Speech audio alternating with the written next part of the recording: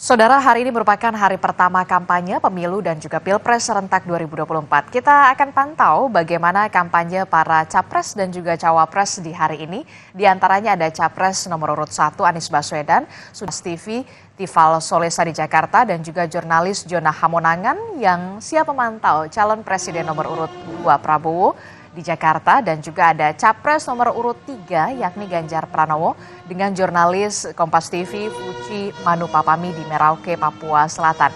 Kita ke Tival terlebih dahulu yang akan melaporkan bagaimana kemudian agenda kampanye Prabowo Subianto di hari pertama. Jonah, bisa Anda ceritakan di mana Prabowo akan memulai kampanyenya di hari pertama ini dan seperti apa nantinya?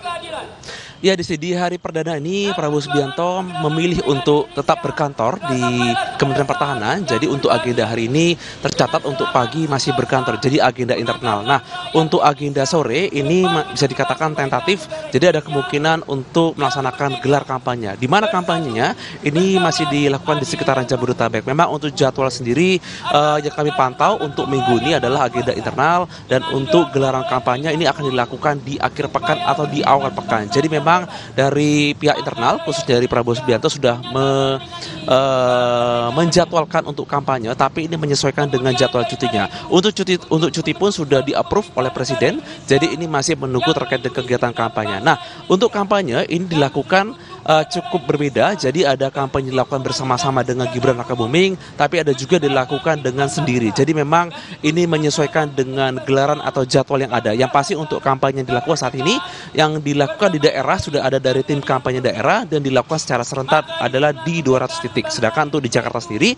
ini nanti akan dilakukan dan diwakilkan oleh Rosan Roslani di mana untuk jadwal perdana adalah pemberian bantuan ke Palestina. Nah, untuk kegiatan yang kami pantau mulai dari pagi sampai siang, agenda Bapak khususnya dari Prabowo Subianto adalah ter terjadwal agenda internal khususnya sebagai Menteri Pertahanan yang berkantor di Kementerian Pertahanan.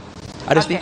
okay, itu artinya sampai siang hari ini dari pagi uh, calon presiden nomor urut 2 Prabowo Subianto ini masih berkantor di Kementerian Pertahanan. Kita akan tunggu bagaimana nanti sore apakah kemudian akan uh, memilih ke wilayah Jabodetabek untuk uh, berkampanye di hari pertama.